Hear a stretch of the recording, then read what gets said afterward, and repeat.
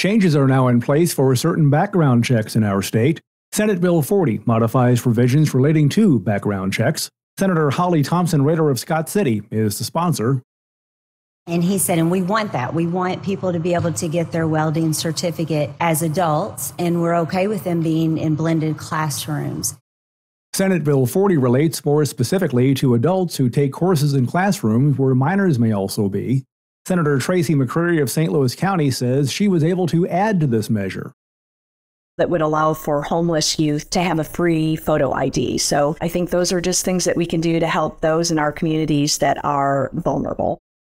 Senate Bill 40 took effect on August 28th. Missouri senators are looking toward the next regular legislative session. They have been able to pre file legislation for 2024 since July 1st. Pre filed measures will start to receive their official bill numbers on December 1st. Reporting from the state capitol, I'm Dean Morgan.